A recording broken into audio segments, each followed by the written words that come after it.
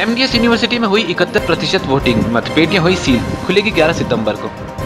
तो इसी के साथ ठीक एक बजे छात्र संघ चुनाव संपन्न हुए, इकहत्तर प्रतिशत वोटिंग एमडीएस यूनिवर्सिटी में हुई है। कुल छह सौ बहत्तर मतदाताओं ने मतदान किया है। मतदान के बाद मतपेटियाँ भी सील हो गई है, जो कि ग्यारह सितंबर को खोली जाएगी। केवल इस दिन पेटियाँ नहीं, बल्कि खड़े हुए प्रत्याशियों का भाग्य भी खुलेगा। ये काफ़ी शांतिपूर्वक रहा है यहाँ पे मतदान आज, और सुबह आठ बजे शुरू हुआ था, अभी एक बजे समाप्त हो गया है। और सेवेंटी वन परसेंट यहाँ पोलिंग हुई है।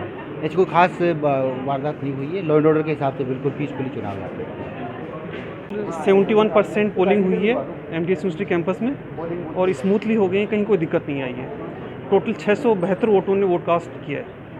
दो फर्जी वोटर्स के सामने आए सर अभी जिनसे नहीं फर्जी वोटर है तो यूनिवर्सिटी पुराने कैंडिडेट्स थे वो आए थे फिर वापस चले गए उन्होंने वोट कास्ट नहीं किया है।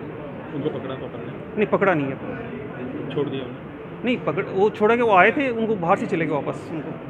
जब उनका आई कार्ड नहीं था उनके पास में प्रॉपर इसलिए वापस बाहर से चले गए। अभी ये मतपेटियाँ कहाँ जाएँगी सर किस तरीके से ये ट्रेजरी आ रही है ट्रेजरी कोसा कोसा लेके वहाँ जाएगी.